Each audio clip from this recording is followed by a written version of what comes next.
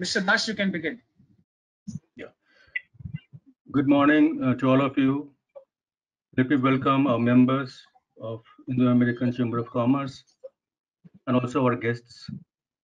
Uh, my name is Sudip Das, and I'm the Executive Vice President of uh, Indo-American Chamber of Commerce. Uh, as you know, uh, we have this Sustainable Development Committee. Uh, as a part of this committee activities, we periodically share with you interesting topics through webinars. And uh, so this is, uh, I think, third or fourth of uh, the series of webinars that we have organized in the last, you know, one and a half months. And we continue to, will, you know, like to continue to have more and more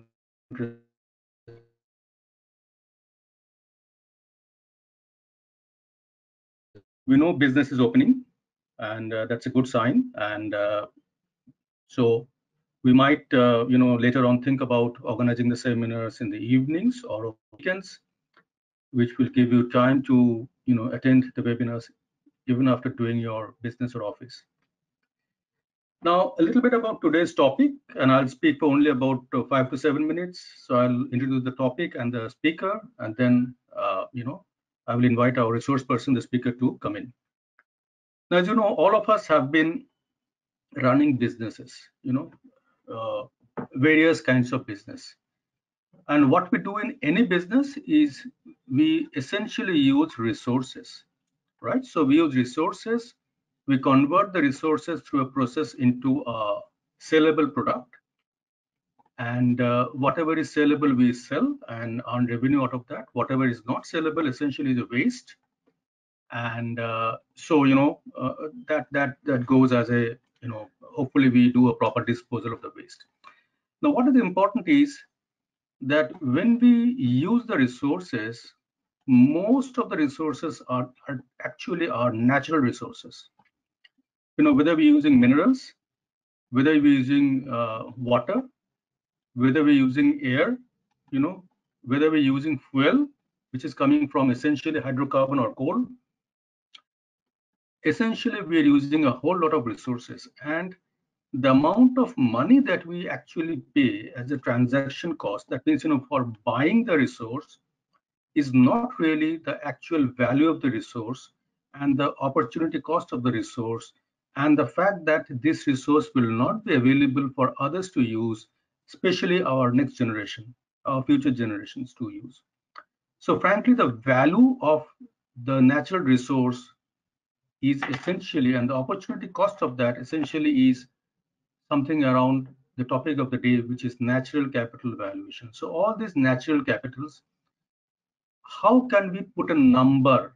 How can we do a valuation of these? How can we know that when we are using the resource, what actually is the cost incurred to the environment, to the society, to the economy, to the future generation. It is just not the cost of buying the resource that I'm paying, that we are paying, you know, uh, while we buy the coal or petroleum or, you know, we use water. Water, unfortunately, is sort of people think that water is a free resource available, but water possibly is the most expensive natural resource. And we will come to know about it, especially certain parts of the world and certain parts of India, actually we have seriously you know seeing the cost of the resource and the cost of resource is actually the cost of not having water. That is the cost of the resource. So uh, essentially today's topic our resource person mr sanjeev raman uh, he's going to share with you our thoughts and certain thoughts about how the natural resources can be how we can put a value around that. So that's the capital the natural resource capital that we have that we have the capital that we're investing, that we're using, that possibly we are exploiting today, that possibly we are abusing today. Pardon my using the words, strong words, but we are actually abusing all of us and uh, and exploiting. And so, you know, once we have a number around that, once we know the value, once the number goes to the boardrooms, then is the time when the when the decision makers will actually realize and maybe then they will you know use the resources in a more frugal manner Okay, so that is the objective of this particular, uh, you know, uh, knowledge sharing session. That is the that is the objective. And if if if even one percent of you know us, one percent of the people who are listening today are impacted, even as less as one person are impacted, we'll feel that we are we have added some value. We'll feel that we have we have you know the the the entire effort of doing the webinar is useful. And uh, so that is that is what it is all about. Uh, let me introduce our resource person, the speaker today, Commander uh, Sanjeev Raman. Commander Raman is a retired uh, naval commander. He is a part of uh, the Sustainable Development Committee of Indo-American Chamber of Commerce. He is, by background, he is an engineer and he is also a management expert. He's an MBA. And uh, in addition to, you know, have, having a very successful naval, uh, you know, career. Post retirement, he took early retirement. Post retirement, he is a very successful entrepreneur, and he is also an author. You know, he writes, he discusses, and he's also a teacher. He's a faculty I know in several, uh, you know, management schools. Uh, so let me welcome uh, Commander Raman. Uh, over to you, Sanjeev Raman. Thank you. Thank you very much, Sudipta sir, for the opening remarks. So I will start with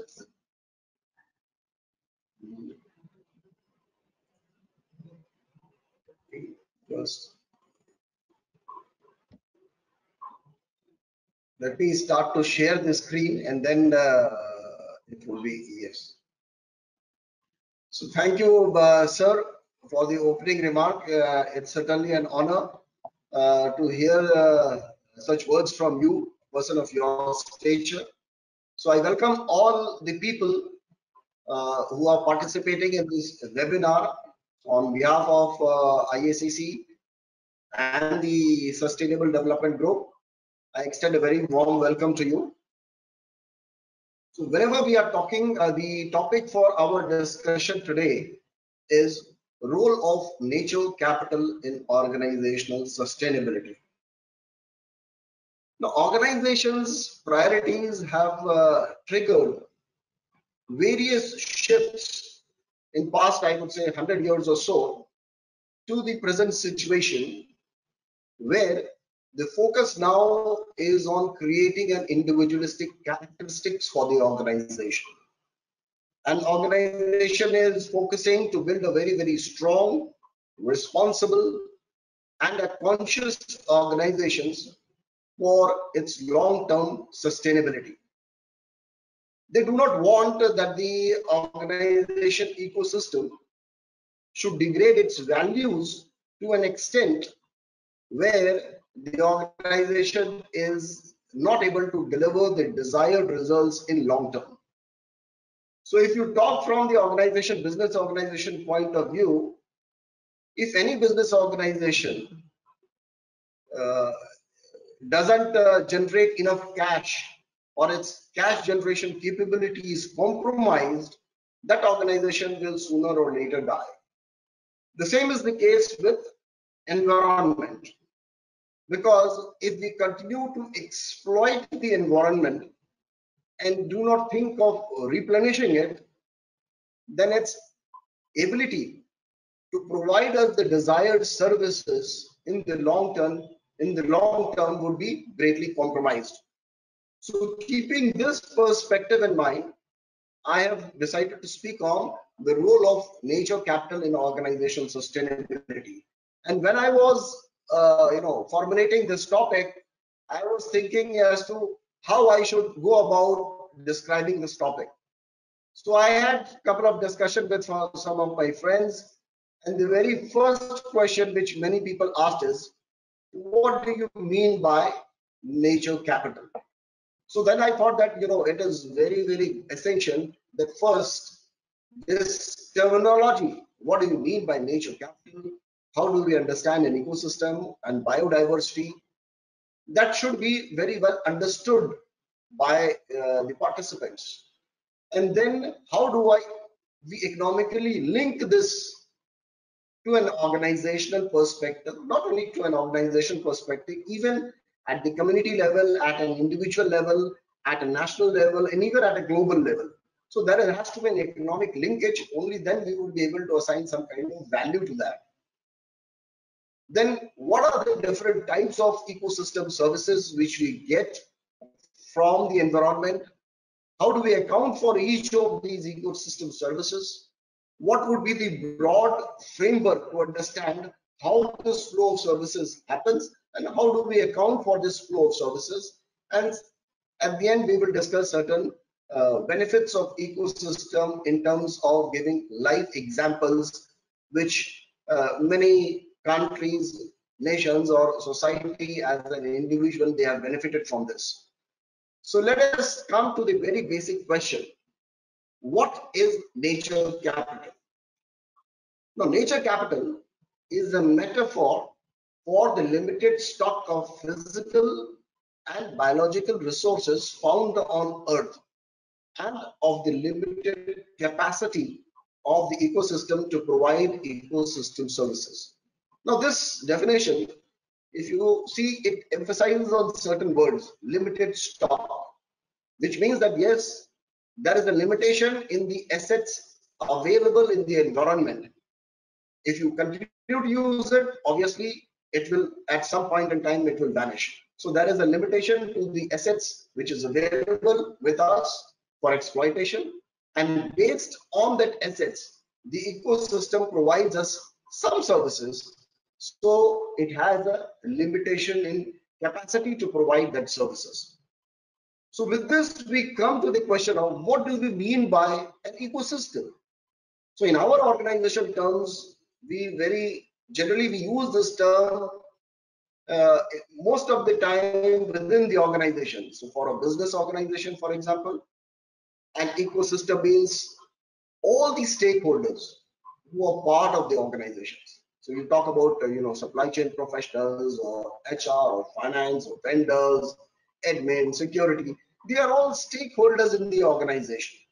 And they all form an ecosystem for the organization where contribution of everybody has to be there to get the desired results. So from the ecosystem environmental point of view, what do you mean by an ecosystem? Now, ecosystem from the environmental perspective means a large community of living organisms, plants, animals, or microbes in a particular area. The living and the physical components, they are linked together by a nutrient cycle and energy flow. Now, it can be terrestrial, freshwater, or marine ecosystem. So when I say that there have to be links, that means there is some kind of internal processes which is happening within this uh, you know ecosystem. Only then it work it, it works as a as a one functional unit. The way we are talking about an organizational ecosystem, same with the environmental ecosystem also works as a independent functional unit. So for example, forest, living coral reefs, deserts, savannas, rainforests, tundra, they are all ecosystem. So if you're talking about, say, for example, a coral reef ecosystem, it provides so many goods and services to the people who are living in the coastal community or uh, coastal population. It provides a lot of goods and services. And at the same time, it also gives protection against wave erosion. So it functions as a unique ecosystem for the marine environment and for the people who live and utilize those facilities within that uh, ecosystem. Now this definition, it lays emphasis on large community.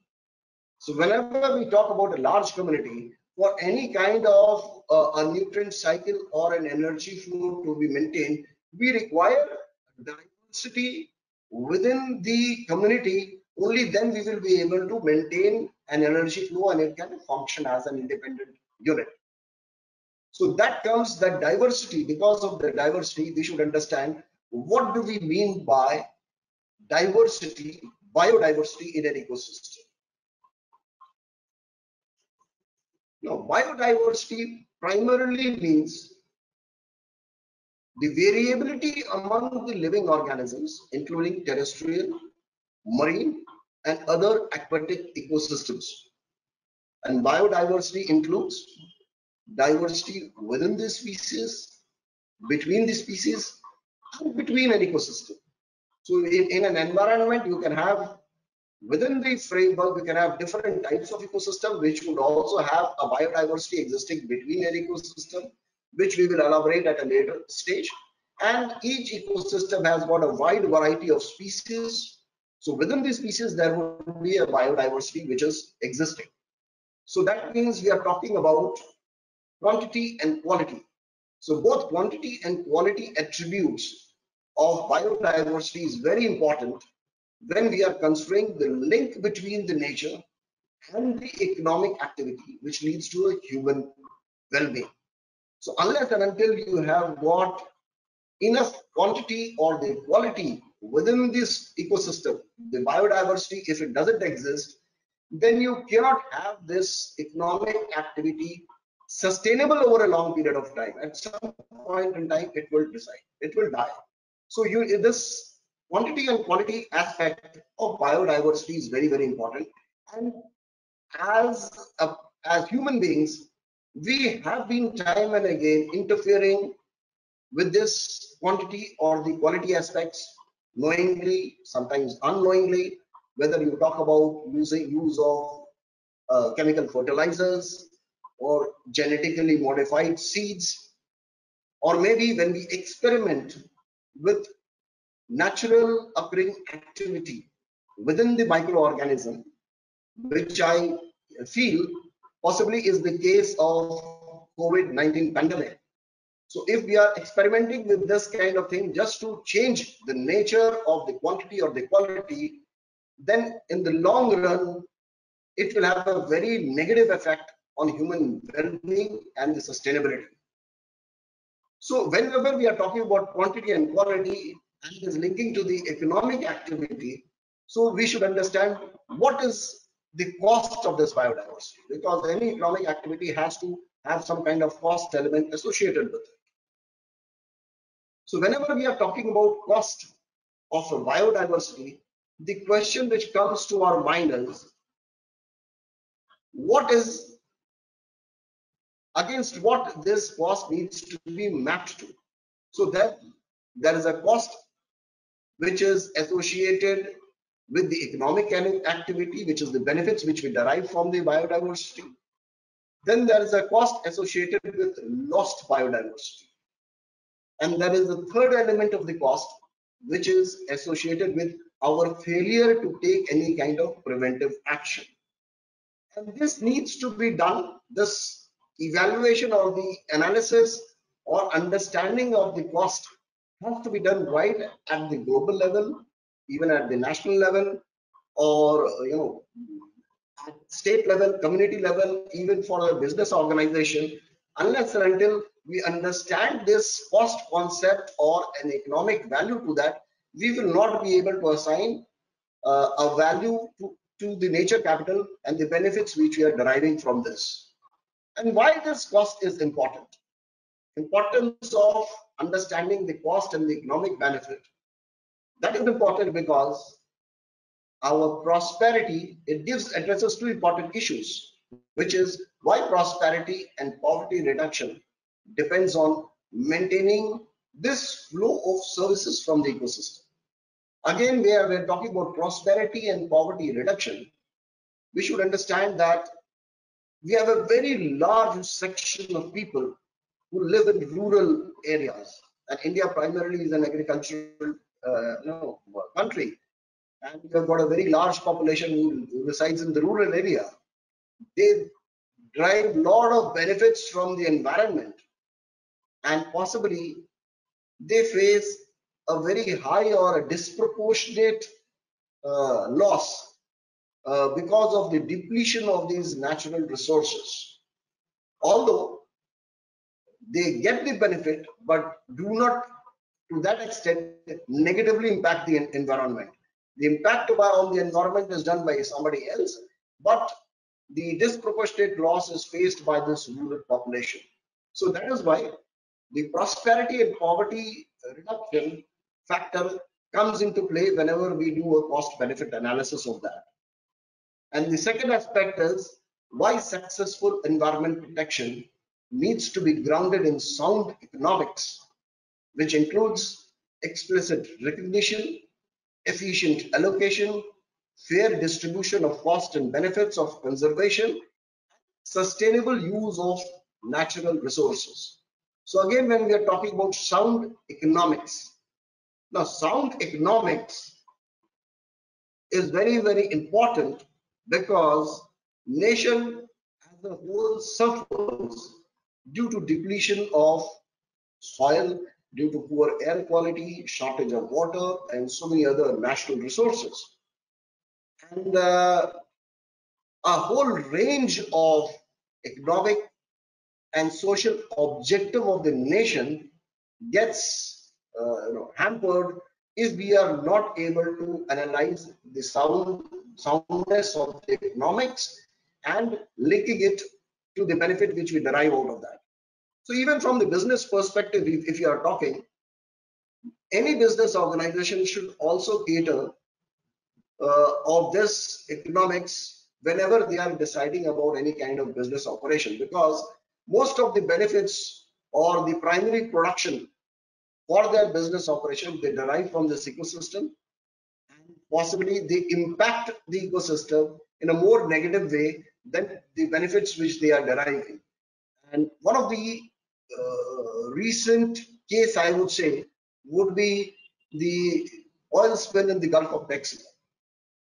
So certainly the company would have uh, lost millions and billions of dollars in lawsuits and you know taking measures to preserve the environment and certainly it has dented its uh, reputation beyond repair. So it also has an image impact on the organization over the long run. Even from the individual or the community point of view, you know, it affects us. If we are if we are not able to understand how it is uh, economically impacting us, whether in terms of ill health or income or various kinds of uh, you know social or other aspects of human well-being. So that is why we need to understand the economic linkage. And whenever we understand, talk about an economic linkage, it requires an understanding of how this ecosystem functions. If we do not understand how this ecosystem functions, then how can I, you know, put an, uh, you know, value to that, and how can I assign an economic, uh, you know, element or a component to this ecosystem? So it is very important to understand how the ecosystem functions, how do they provide such services, and how it is affected by various external pressures. Now, this is very, very important because it helps us to gain an insight into the link between biodiversity and the ecosystem services, as well as their capability and capacity to provide such services under the changing climatic conditions. So whenever we are talking about uh, the kind of uh, services which we derive, it has got both tangible components as well as intangible components. Tangible components, by tangible components, I mean the kind of uh, things which can be immediately linked to market, whether you talk about timber, you talk about food stock, livestock. So these are all commodities which are tradable in the market and you can easily account for that. But there are a whole lot of intangible benefits. And uh, there is an element of invisibility which is existing in its accounting process.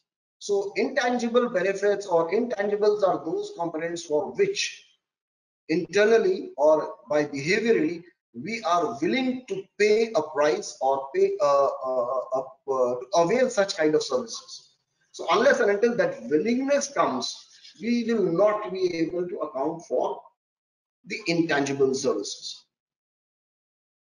These are both the tangibles and the intangibles these are, we can say, the dividend which society receives from the environment and the ecosystem and its benefits unless and until both the invisibility factor in the intangible is taken into consideration, we will not be able to change our behavior and we will continue to have a destructive attitude towards our natural capital. So with this background, let us first understand what type of ecosystem services do we get from this environment which we talk about as a nature capital. So they are primarily categorized into four categories. One is called the provisioning services. The other is called the regulatory services. The third is the habitat or the supporting services. And the fourth is the cultural services. So we'll examine each of these in little detail and see what do you mean by provisioning, regulating or supporting or cultural services. So let us talk about what do you mean by provisioning services. Now provisioning services primarily deals with the material output which we get from the ecosystem. And this includes like food. It provides us conditions also to grow food as well as there are consumption stocks like crops, livestock, fish. And in the in the uh, presentation, you will see there are certain more elements which are included, you know, gum, vanilla, chocolates, and and so on and so forth. Rubber. There are a whole lot of uh, things The second is the raw material which we get from the construction activities and fuel, which is timber, you know, burning fuel. There are whole elements of biogas, uh, raw material which we get uh, from the environment. Third important factor is fresh water, which is surface and the groundwater. Now this is one element which we have, it has never synced in our conscience that we need to preserve this So surface water and ground water, These all comes from the environment. And particularly in India, uh, the complete water resource depends upon monsoon. They are all river water, river water. River is also forms part of the ecosystem. So we need to preserve the ecosystem to get first supply of the fresh water for our survival. For the pharmaceutical industry, you've got medicinal plants. So it gives us a range of uh, services which we directly consume and use for our primary production activity and which can be easily monetized I would say. That accounts for the provisioning services. The next part is the regulating services. Now these are generally intangibles what we are talking about. The regulatory services in the ecosystem provides by acting as regulators. That means it regulates the quality of air, soil, or by providing flood and disease control, which are largely, these are services are largely invisible in our day-to-day accounting to the society. But this forms majority of the total economic value of the ecosystem. Now, this invisibility of this intangible is what would affect our human conscience and behavior unless until we recognize this component of it, we will be losing a major chunk of the economic benefits which are which we are deriving from the ecosystem. So let us see what are these, you know, uh, regulatory services. Local climate and air quality regulations. So with tree plantation, it influences rainfall. We have got carbon sequestration and storage, which helps in removal of carbon. Moderation of extreme events so it creates a buffer against flood, landslides, storms, etc. Then wastewater treatment, so a lot of human waste and animal waste, it gets decomposed. The nature itself has got so many microorganisms which decomposes all these wastes and provides a nutrient for its internal maintenance of the nutrient cycle and energy flow. It also improves uh, soil fertility, so erosion prevention and maintenance of soil fertility, again, this helps us in preventing land degradation as well as desertification. Another aspect is pollination. Now, pollination facilitates crop pollination. This benefit of pollination, which we are not actually understanding, we only focus on the various other aspects of uh, agricultural produce but actually pollination contributes a lot towards our agricultural production. Then biological control, which facilitates in pest and vector control disease. So these are all, these all accounts for various types of regulatory services, which we get, the benefits of which we get from the environmental ecosystem. And it should be borne in mind that these are the major chunk, and I would say more than two-thirds of the benefits which we derive from the environment is accounted by these regulating services. Now, the next important aspect of the habitat services. Now, habitat services is something which underpins almost all services because every uh, living organisms, it requires an habitat for its sustainability. So in any case, the habitat services has to be available for, for any kind of living organism to function. Even when we are talking about migratory birds, so uh, when they travel across the continent, there are habitats of supporting environment available to them for them to grow. And this type of habitat services, it helps in maintaining the diversity of the different breeds of plants and animals. So this genetic diversity is provided by this habitat services and we see that you know so many uh, different kinds of breeds are available in different different continents across the world if a service or habitat is not available in one area, you suddenly find the entire you know, organism, microorganism, birds, animals, they go to another habitat where they are, you know, uh, provided with such kind of environment. So it helps in maintaining, as I talked about, the quantity and the quality and the diverseness of the species which are existing within the micro, uh, existing within the ecosystem. The last is the cultural services. Now, these cultural services includes non-material benefits which people obtain when we get in contact with the ecosystem. These includes aesthetic, spiritual, and psychological benefits. So when we talk about recreation or mental or physical health, if you go to a very nice landscape environment, green space, mentally you are more relaxed. And a lot of these spaces are used for recreational activities. So this is also a part of the ecosystem which we are utilizing. Tourism again a major booster for economy. If you preserve the uh, the environment and maintain its natural uh, you know, uh, the way it is uh, it has appeared in the ecosystem it promotes tourism cultural aspirations so there are a lot of, you know, uh, places which has got cultural importance. So whenever we talk about, say, for example, in, as far as India is concerned, you talk about Vaishno Devi. So Vaishno Devi is a hill. People have got a religious and cultural thing associated with that. And they want to preserve that entire environment. They get a lot of benefits out of that. At the same time, it is promoting your tourism and other aspects. So there is a, an element which culturally we would like to preserve whether it is naturally occurring caves or, a coral reef system or you know or a desert these kinds are this also provides us with various kinds of services and the last is the spiritual experience in the sense of place now this is one aspect which is now gaining importance or so i would say maybe uh, almost uh, three four decades back when Osho started with the ashrams. So he provided a, an ecosystem where people can have a spiritual experience. So to get that kind of experience, he has created an environment. And that kind of environment was created worldwide. So now more and more people are coming into this space. Uh, Isha Foundation has created a 100 acre environment in Coimbatore. They are also creating in so many other places.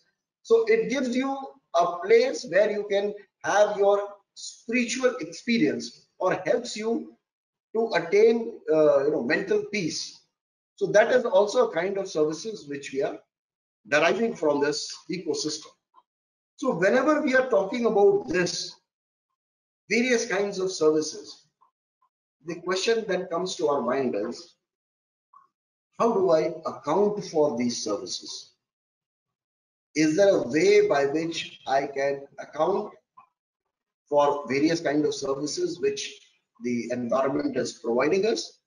So let us go step by step and see how do we account for this nature capital. The very first aspect which we need to understand is we need to recognize value. Unless and until we recognize a value in that, we will not be able to translate that knowledge into the economics and subsequently into our behavior. Because if you do not recognize the value, then it becomes very, very difficult to influence, you know, a human behavior both from the political uh, terms as well as from the technical terms. So recognizing value is in all aspects of biodiversity is very, very important. So whenever we are talking about recognizing value, uh, if it has got a cultural or a heritage heritage services associated with it, then automatically you know it comes in our behavior to preserve that kind of I would say uh, the ecosystem. We immediately recognize that kind of value, whether we visit a, a particular ashram or you visit a national park or you visit a botanical garden we know that there is a, an importance associated with that. We recognize the value in that and our behavior towards preservation of that changes. And that is how we are able to put uh, an economic value towards that. So to recognize value, it is very, very important to identify and assess the complete ecosystem services and its implication to the different groups in society. So when I'm saying of identification, in your ecosystem, there are various services, there are various services which we uh, you know, get from the ecosystem, and these services are delivered to various groups. The business group gets a different kind of benefit out of this service. The nation gets a different kind of benefits a society gets a different kind of benefit an individual also gets a different kind of benefit so there are and different groups which get different kind of services so we need to identify the complete range of ecosystem services associated with different groups who take uh, you know the benefits out of this ecosystem services. Unless and until this complete stakeholding pattern is identified and assessed, we will not be able to recognize value or we will not be able to translate that recognition in the minds of different sections of society to benefit from this ecosystem services. Let us say, say for example, coral reef. Coral reef, we have talked earlier also, it contributes towards fishery, tourism, protection against waves, erosions, threat due to climate change, ocean acidification, overfishing. So these are the various components which we are getting. But primarily understanding that you know overfishing is bad for my uh, uh, you know for the ecosystem, for the coral reef ecosystem is not going to change the behavior or the fishing methods unless and until if we identify and assess and then put some kind of economic value towards that, then only people will start to make changes to nullify their short-term benefits which they you know derive from this overfishing activity, which is ultimately leading to destruction of the ecosystem. So we need to understand the entire aspects. Even from the forest perspective, see one third of the Earth's land and half of the terrestrial species exist in forest and forest ecosystem provides for two-thirds of the primary production in land. So when we're talking about two-thirds of the primary production activity happening from the forest, our attitude towards forest is not good. We still continue with the wrong practices and the destructive practices.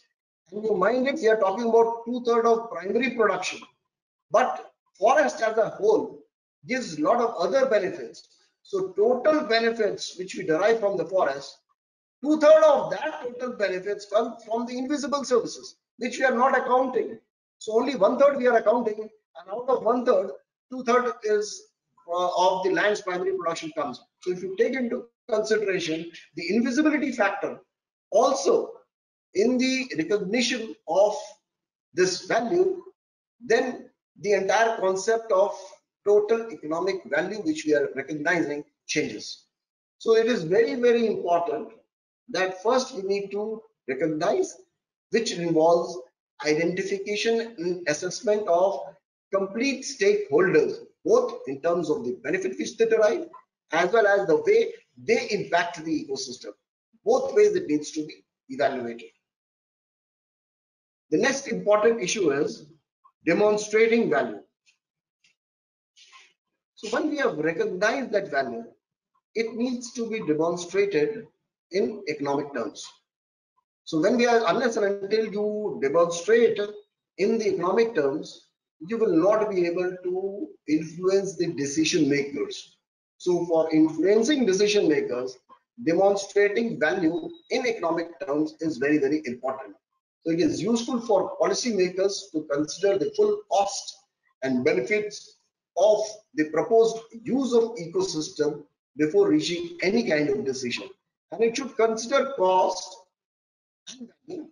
over and above what enters into the market. So not only the provisioning services, so in the decision making process, you should identify both, uh, the, you should uh, demonstrate cost of both tangible and the intangible benefits. So it needs an estimation. So now we have already recognized that all the stakeholders the kind of benefits which they are driving and the kind of impact they are giving or doing making in the in the ecosystem. After we have uh, evaluated identified and assessed now we need to do an estimation. That is it needs to be analyzed with the linkage over scale and time. That means what is the range of impact whether it is positive or negative. Some people may be impacting positively the environment and some people negatively. As well as over time. That means the impact has to be estimated over a period of time. One stakeholder would be impacting negatively and getting a benefit. The, over a period of time, his impact is nil and his benefit is also nil. But the other stakeholder who has been impacting positively the ecosystem his impact over a long period of time, over a later stage of the time, is, you know, the, the benefits which it derives becomes absolutely zero. So there is a there is a disproportionate assessment of all the stakeholders who are influencing and impacting the ecosystem. So it needs to be done about the ranging and scaling of each ecosystem, each uh, stakeholders of the ecosystem, and it should be done over a period of time when this benefit is going to be realized if today if i start to do say for example i i plant trees and i plant millions of trees. The nation decides that entire river basin needs to be planted with trees. So i am impacting the society but it's and, and the benefit uh, the benefits of this environmental impact will not be you know uh, used by me. It would be used maybe 20, 30, 40 years down by another generation and another section of the society. So it needs to be evaluated over a period of time as well as with the range and scale. So it needs to be done both at the global as well as the local level. You know, the current as well as the future, what is the urban and the rural aspect of that. So all these needs to be you know, uh, decided only then we will be able to come to the total economic value. Then we can see that yes, once we demonstrate, we see that the total cost of preserving the environment outweighs definitely the short-term benefits which we derive from the environment with only focusing on the uh, provisioning services or the primary production activities. So after you have demonstrated the entire aspect, you've recognized you have demonstrated over the range and scale for all the stakeholders. The next step would be capture that. When I say capture, people may argue that yes, you have already recognized, you have already demonstrated, it has already been estimated over a period of time, then it is that means it has already been captured. But capturing here means that you need to put a mechanism by which you put some kind of incentive towards preserving the you know biodiversity or the ecosystem which you are talking. So it is introducing a mechanism to acknowledge or incorporate in the ecosystem and biodiversity decision making process. The moment I have demonstrated and I do not capture it in the in, in my decision making process, I say that you know I want to preserve a national park and I say it is free for all. There is no entry fee. Then even if you have recognized, estimated, you have not captured in your decision making process because the moment you assign a zero value, nobody is going to you know, do anything about it. So capturing the value in the decision making process is the process by which you put incentive to influence human behavior and try and link it to the market. For tangibles, certainly it is very, very easy, but for intangibles, it becomes very, very difficult. Say, for example, uh, you know, when we talk about uh, Uttarakhand, Uttarakhand suddenly decided to have an auto cluster. Of all the places in Uttarakhand, Pantnagar is having an auto cluster. But there are so many other industries which have come there. So it's becoming a big uh, industrial hub. So the government has incentivized certain decisions by its decisions that I'll give you tax breaks, I'll give you, you know, uh, free electricity, land registration cost will be uh, easy, provided you are able to preserve the environment and then you are able to enjoy the benefits. So if you are only doing taking tax breaks and not doing the activity related to preserving of the environment, there will be a penalty also associated. with it. So unless and until you put incentivize or put a penalty for misuse of the incentives which is given, you will not be able to change the Indian And that becomes, you know, the first process of capturing value in our decision making process. Many people have been doing it. They, you know, they brand their product as, you know, organic product or eco-friendly product. So that is also one way of, you know, you set up, you have captured a value. The government has captured a value in the in the entire uh, process of decision making, given you the benefits, you are also preserving and at the same time you are using those benefits to promote your the goods and services which you are producing uh, without impact negatively impacting the ecosystem. So that is what i mean when we talk about capturing value in the biodiversity. So it is important to assess and incorporate that value in the decision making process. Failure to do so will have a negative impact on human conscience and behavior and in our treatment and relationship with nature. And we have already mentioned that it includes subsidies, fiscal incentives, tax rates, eco-labeling, certification. So now when we have already done this entire process of recognizing, demonstrating, capturing, what would be the next step? The next step is to understand how this entire model, the flow of model happens in the ecosystem services. So internationally, you see United Nations Environmental Program has you know, evaluated or developed certain kind of framework. And they call it a system for environmental economic accounting, SEEA. And it has got two different frameworks. One is the central framework which talks about the broad areas of economic activity and how do we account for those, including specific focus on individual assets. And then there is an experimental framework of SEEA, which has been promulgated by UNEP. So SEEA talks about an experimental framework which we, based on which we decide how do we account for a biodiversity existing in a localized area?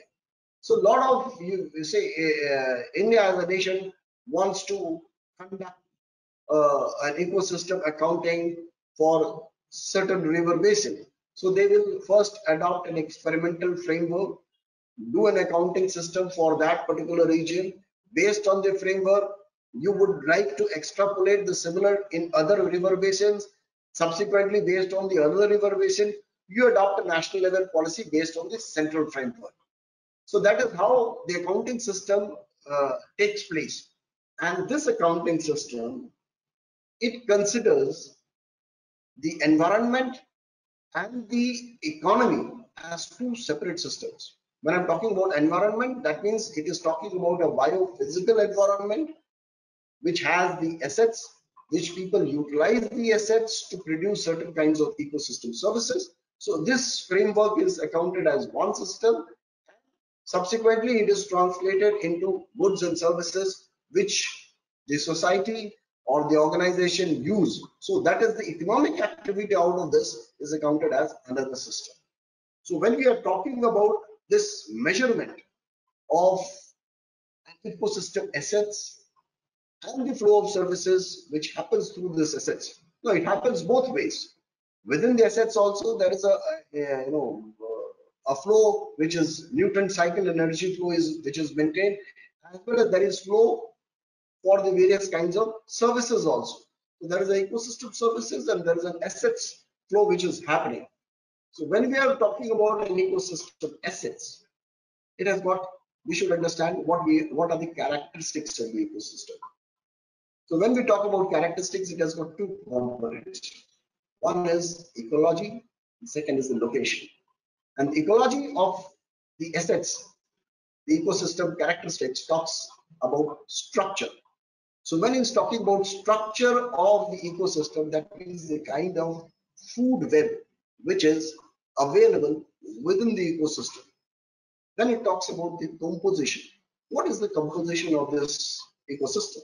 That means it includes various kinds of living organisms, flora, fauna, as well as non-living mechanisms, organisms, which is minerals, water.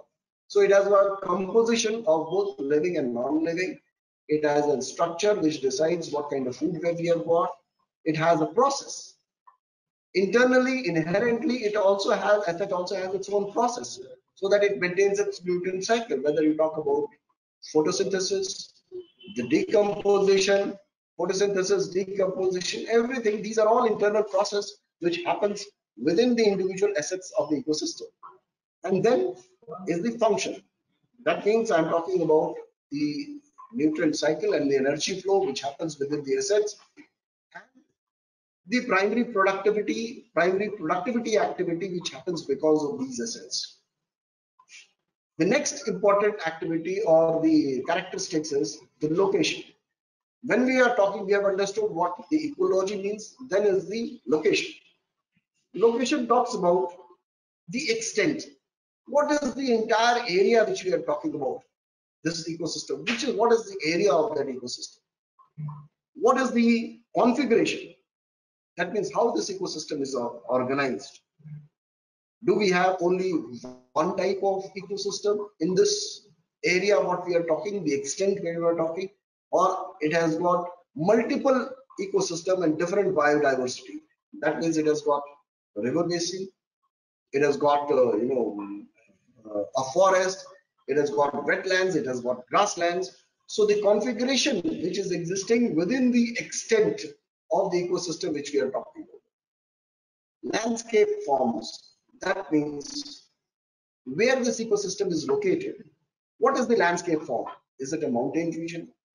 It is a glacier region or is it a, region which has got very high rainfall? Is it a, a marine aquatic region?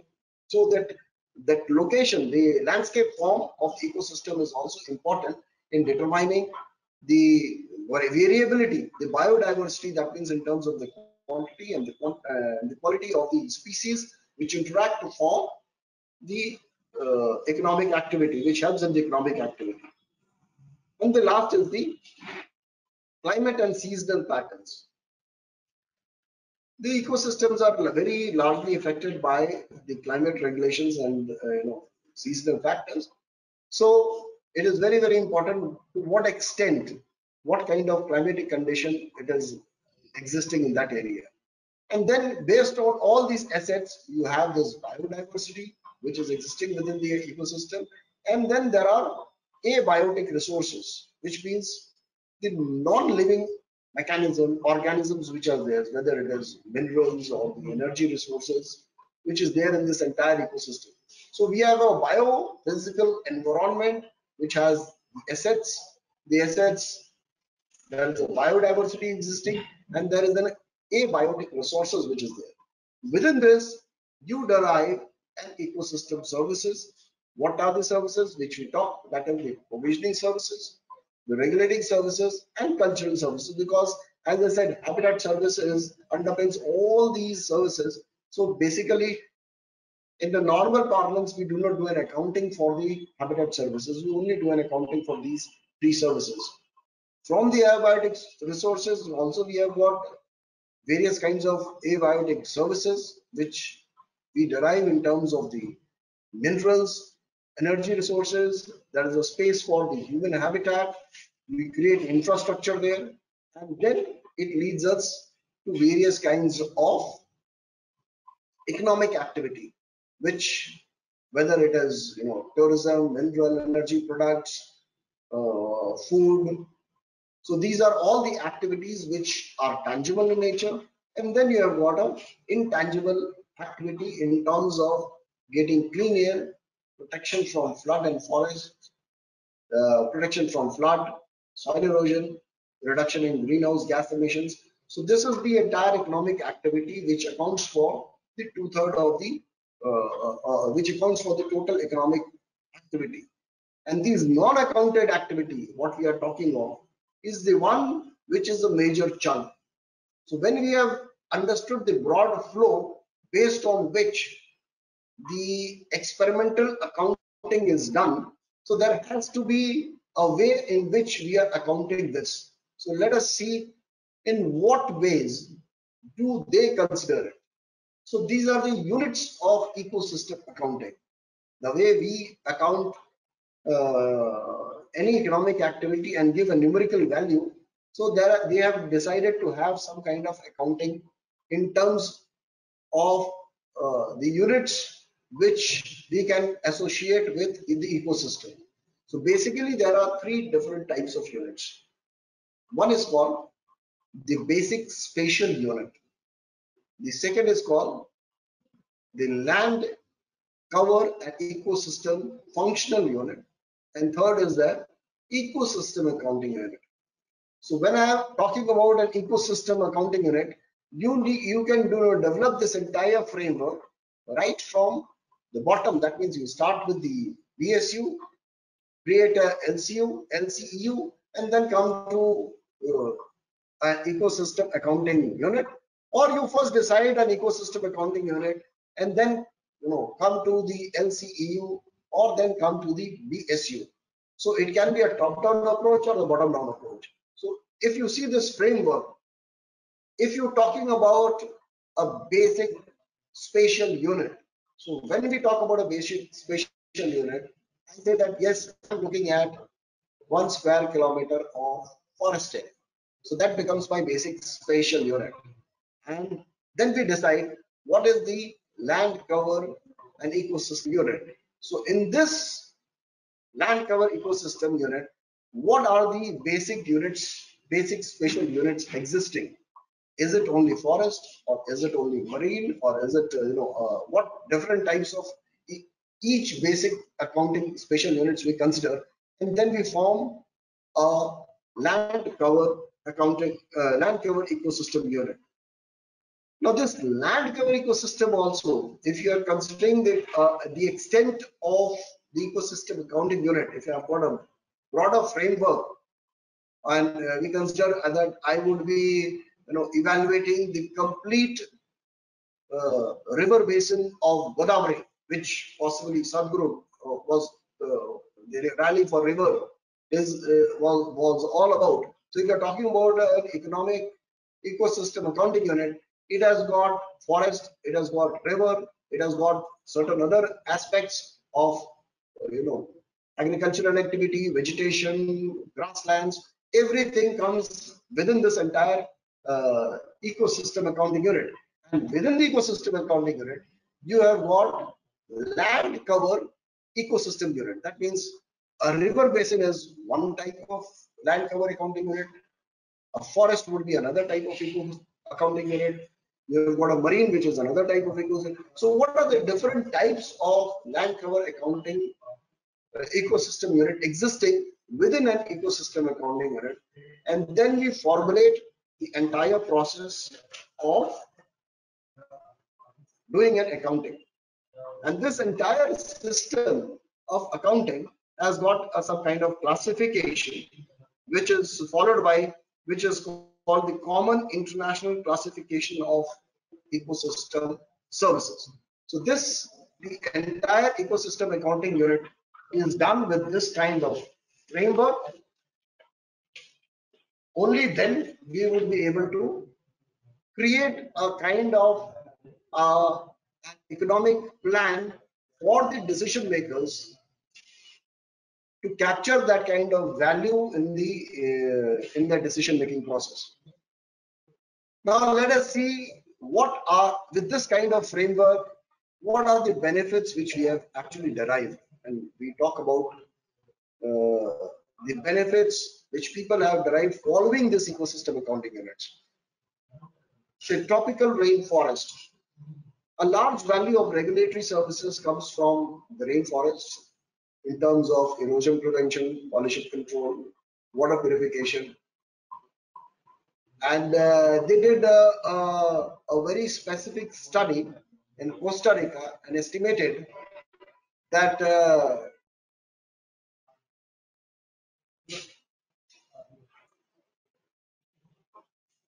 and estimated that uh, almost the.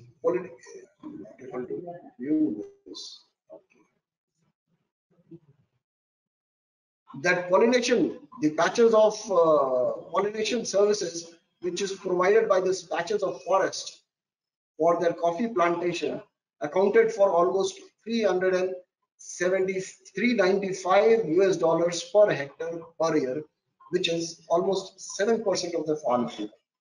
So this accounting was not there earlier, but now when they actually did a study, they could put a specific value to this, which is 300 and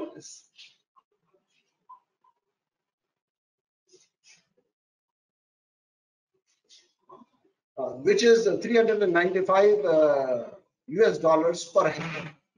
The same way, Cameroon also did a provisioning services study and for the timber. And they found that the Cameroon forest gives accounts for almost 560 US dollar for the timber and uh, 61 US dollar for fuel uh, for fuel wood and roughly 41 to 70 dollars for non-timber forest products per hectare per year. So this is the kind of specific provisioning services which they have got, uh, they, they could associate with. But uh, if you see the, uh, you know, the uh, pollination services, that 7% which was which was invisible in our accounting system suddenly came into the into accounting system. Hawaii coral reef.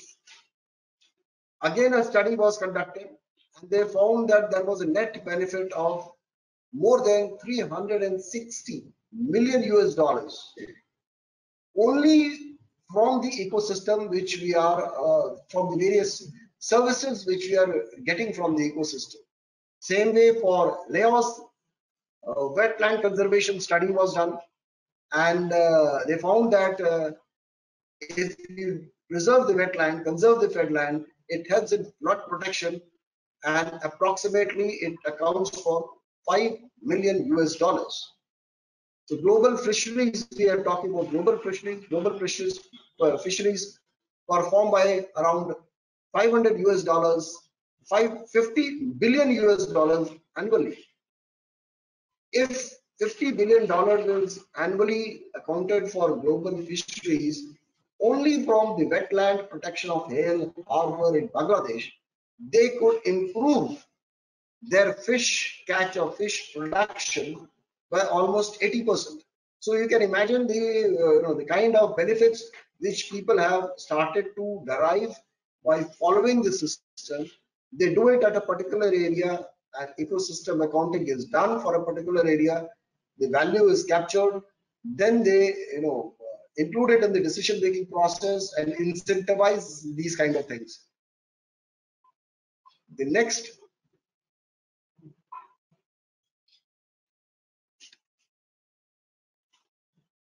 I think it is uh, say for example beekeeping beekeeping generates 213 million dollars annually in Switzerland. A single bee colony generates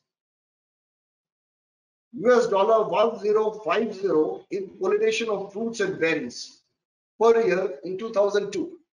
And it was compared to, if you compare this 1050 US dollars per year in 2002, so and you compare with the direct product, it only is $215 which is which we get in terms of you know honey or wax so the pollination which happens because of beekeeping the its effect is almost five times more. And we have not been accounting for this. Another example is conserving forest avoids greenhouse gas emission. This is this is a very big uh, amount which we are talking about which is close to 3.7 trillion dollars. If you half halving the deforest rate by 2030 would reduce global greenhouse gas emission by 1.5 to 2.7 GT carbon dioxide per year, thereby avoiding damage from climate change, which is estimated at more than 3.7 trillion dollars in net present value. Uh, when I'm talking about reduction, these these the co-benefits which we are deriving from the forest the primary benefits which are we are not taking into account. These are the invisible uh, benefits which we are deriving only by preserving the forest or reducing the deforestation rate. And as I mentioned that more than two-thirds of the total economic value which we are considering for our economic evaluation comes from these invisible or intangible services, regulating services which we get from the forest. Green products and services, another example. It represents a new market. Global sales of organic food and drink have recently been increasing by over $5 billion every year, reaching to almost $46 billion in 2007. So there are, there are awareness which is coming into our society. There is awareness which is coming within the business organization at the national level, at the global level, there's a lot of initiative which has been taken by the uh, United Nations Environmental Program. They have commissioned uh, uh, something called uh, TEEB, the Economy of Environmental uh, and Biodiversity. There is a committee which forms this kind of report, which has developed this kind of framework, which conducts various kinds of studies globally, and uh, they are able to give a value by the method of accounting process, the framework which they have developed, so that it can influence the decision making process, which gets recorded or captured as a policy for uh, the people to change their behavior and their attitude towards environment. Now, with these uh, words, I end my talk. If there are any questions, I would be very, very happy to take.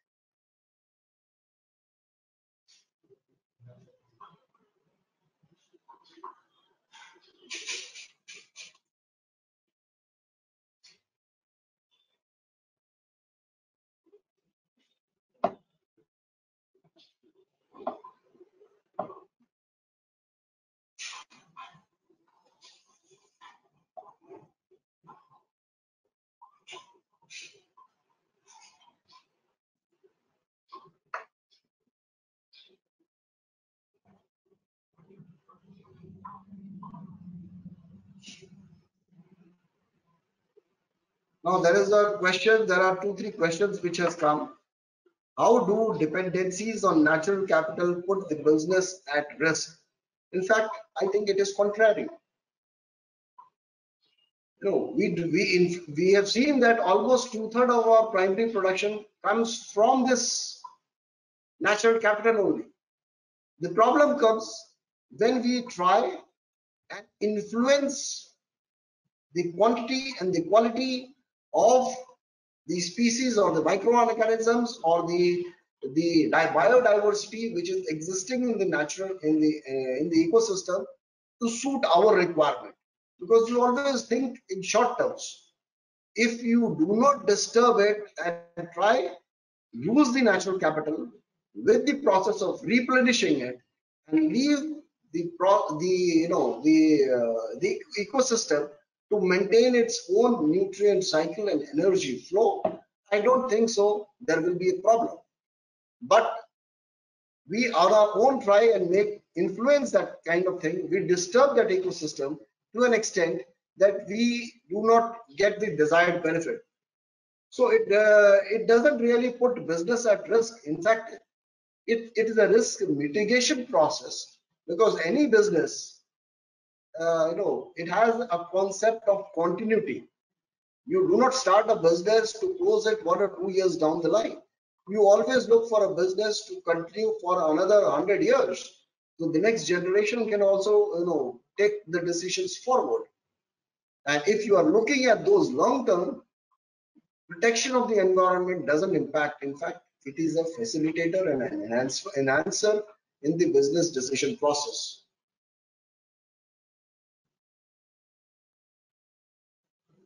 Now, there is another question, how can we incorporate natural capital and ecosystem services into policy and management?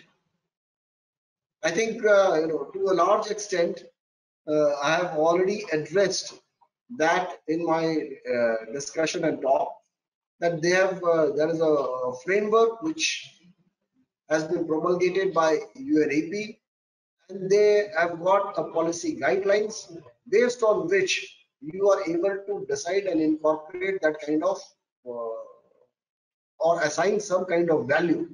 Now, specific assignment of a value, you know, it requires a more detailed discussion going into, uh, you know, when you're talking about provisioning services, you have got forest, what all kinds of activity which you can get from the forest.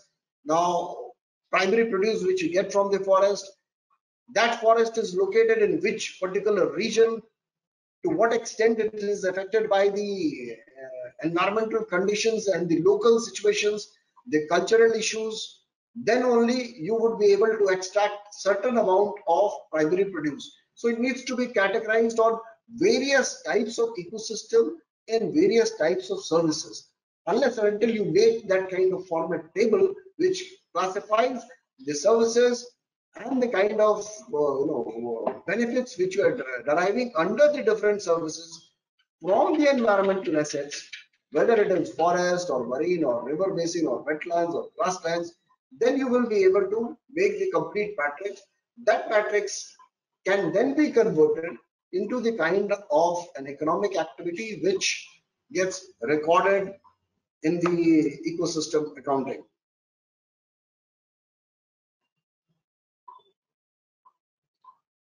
Is there a way for companies to measure their level of sustainability on the basis of natural capital? There's another question.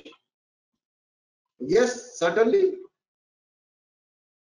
If you are uh, getting into a mining activity, if your company is into mining and you do not replenish, if you continue your mining, there will be a time where all these uh, uh, mineral resources will go so if you do not continue with the mining and do not think of, uh, you know, again planting trees, afforestation, if you do not think of and only think of deforestation, obviously your business activity cannot continue for a very, very long time. So I think your long-term sustainability, if you evaluate for, in fact, for any any activity, whether you are talking about, uh, you know, uh, fishing or steel production or you know any, any kind of activity, business activity. The primary source comes from the forest, and if you are not going to think about replenishment of this, your long-term sustainability cannot be guaranteed. I think uh, there were one or two more questions. Are existing green economy solutions being overlooked in COVID-19 response? No, I think certainly not. This is another question. I feel we are becoming more aware about it. The COVID challenge has given us an opportunity to recognize that yes, people are actually falling back on the on the environment for their sustainability, which earlier they had not recognized. So it actually making a think a change in our thinking process to recognize environment as one of the sources of income in the times of crisis. And most of the companies have also started to realize that.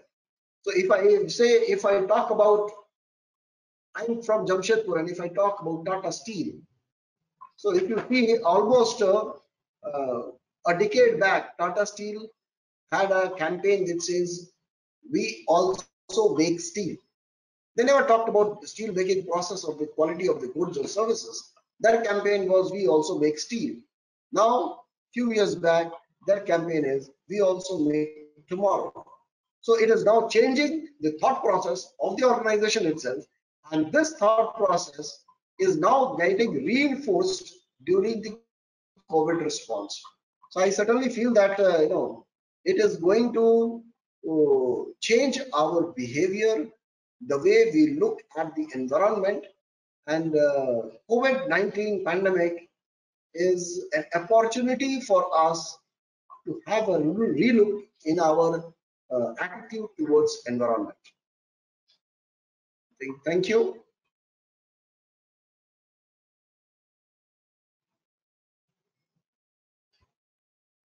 Uh, great. Here we will conclude today's webinar. It was an excellent and very informative presentation. Thank you so much, Commander Sanjeev Raman, for your expertise. Thank you everyone for joining us today and we look forward to your participation in all our upcoming activities.